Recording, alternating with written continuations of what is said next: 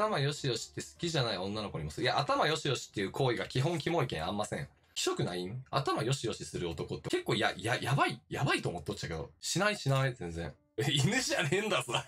おもれ。間違いね。あと、そんなさ、さらっと頭ポンポンできるタイミングない？ある？そんなな、ここだーみたいな。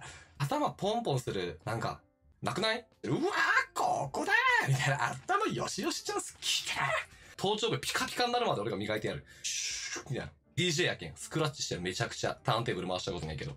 え、でも逆に頭慣れた時にフケ落ちてきたらどないするはお前、そんな、そのフケ全部俺がパクパクパクパクって食べてやる。うーんって。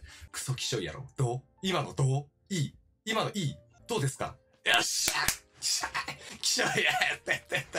40点か厳しいね。よしよしよしよしよしよしよしよし。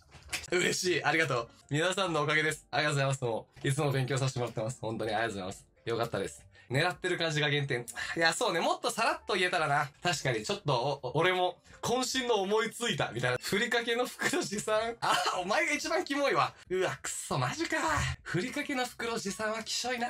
いいな。そこまで思いつかんかったな。いいな。やっぱ上には上がいるんだよな。マジおもろいよな、お前ら。天才でしょ。はあ、今日も最高です。これ、明日の朝ごはんに。あ、自分の？きっしょ？自分のかい？やばすぎるだろ。気象赤ペン先生がちゃんと採点してくれる。懐かしい。コラショは今何してるん？ぼちぼちおっさんやろ。